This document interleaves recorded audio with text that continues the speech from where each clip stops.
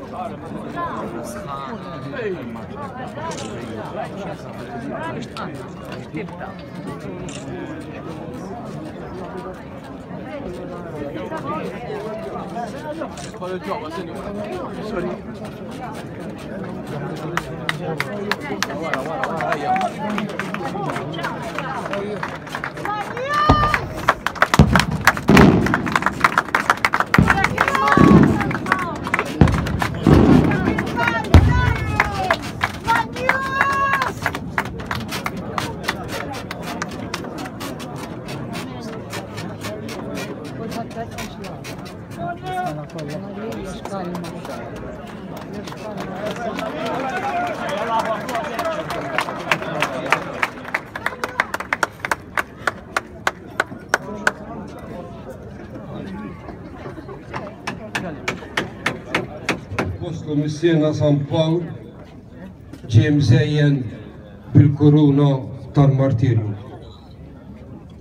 Kienet is-sena 67. Murija bl-imħabba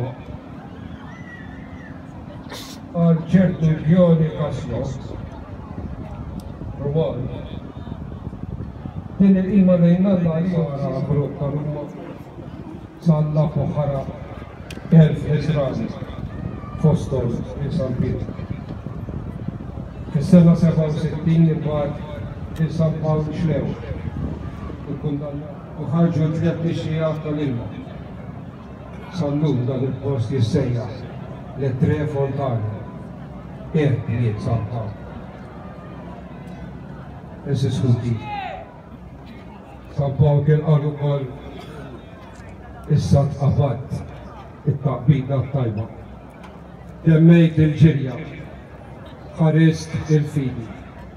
Mill-bqija hemm merfuha għalija il-kuruna tal-ġustizzja li biha dak il-jum iħallas lil mulej. Merik li minn nies ta' ġensri, mill-pagani, fl-ibliet, fid-deżert, fil-baħar, perikli mill-aħwa li ngħaddi sahariet bl-għarqat, bil-ġuħ u bil-għatx. Għal kollox tmiem, l-Ispirtu s-Santu, Mulej li jagħti l-ħajja, li ġej mill-Missier u mill